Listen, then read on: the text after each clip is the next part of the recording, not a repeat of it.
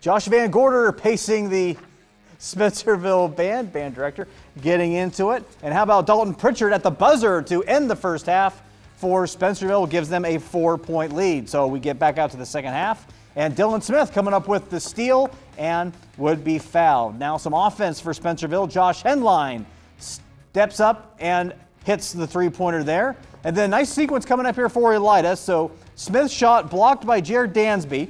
Then Aiden Bartels, he gets it. Pass to Cole Place. Place places the ball at the bottom of the net for three. Spencerville getting it going. Henline with the fake shot is going to drive. Now watch this. Off balance, right hand, off the glass, and in.